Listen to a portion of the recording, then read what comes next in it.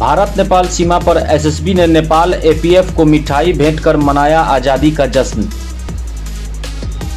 आपको बता दें, स्वतंत्रता दिवस के 77वें वर्षगांठ पर हर घर तिरंगा फहराया जा रहा है। वहीं जश्न आज़ादी के पर्व पर लोगों में उत्साह का माहौल है। वहीं भारत नेपाल चेक पोस्ट भीमनगर में बीते 20 वर्षों में पहली बार ध्वजारोहण किया गया है। इंडो नेपाल सीमा स्थित भीमनगर में एसएसबी 45वीं बटालियन के कार्यवाहक कमांडेंट जगदीश कुमार शर्मा द्वितीय कमान अधिकारी के द्वारा स्वतंत्रता दिवस पर ध्वजारोहण किया गया, जिसके बाद आज़ादी का जश्न मना रहे एसएसबी के जवानों ने नेपाल एपीएफ के जवानों को मिठाई भेंट कर इस आज़ादी की खुशियाँ साझा की।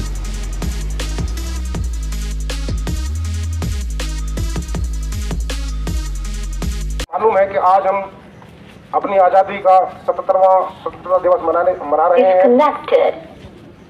और इसी सिलसिले में जो अंतर्राष्ट्रीय सीमा पर जहाँ अब तक तिरंगा नहीं लगा पाया जा रहा था वहाँ हमारे अधिकारी के द्वारा मेहनत करके कोशिश करके इसको रातों रात तैयार कराया गया है ताकि अंतर्राष्ट्रीय सीमा पर भी जो हमारा राष्ट्रीय ध्वज है वो ऊँचा और लहराता रहे सम्मान के साथ में। मैं आज इसके इस अवसर पर आप सभी को आपके परिवारों को देश की अखंडता और सुरक्षा के लिए जो आप ज़िम्मेदारी निभा रहे हैं, सीमा के इलाके में रहते हुए, और जो सशस्त्र सीमा बल है, इसका की ध्येय है, सेवा, सुरक्षा और बंधुत्व।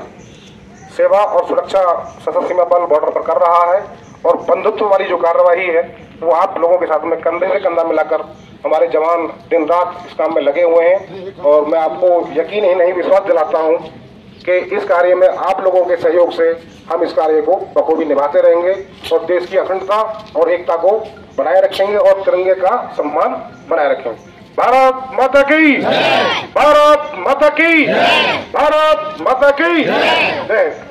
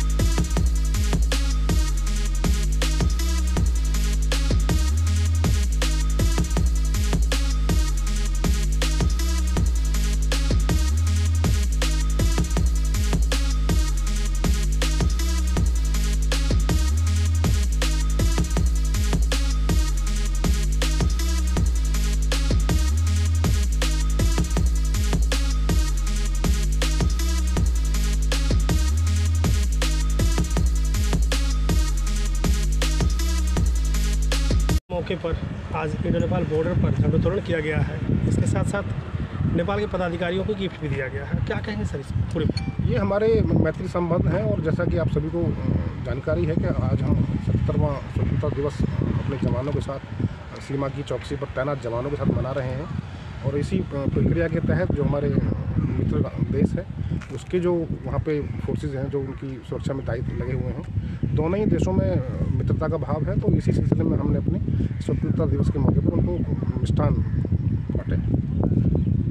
सर हर घर तिरंगा का जो है कार्यक्रम जो चलाया गया था वो हर जगह आज देखने को मिल रहा है। इसमें उपलब्धि काफ़ी रहा सर आपका क्या कहेंगे? हमारे बल मुख्यालय के जो निर्देश हमें प्राप्त हुए हैं वो तेरह तारीख से लेकर सोलह तारीख तक हर घर तिरंगा और आज़ादी का अमृतकाल महोत्सव का समापन समारोह के तहत काफ़ी सारे प्रोग्राम आयोजित करने थे, जो कार्यक्रम कार्यक्रम तयशुदा प्रोग्राम के अनुसार चलाए जा रहे हैं।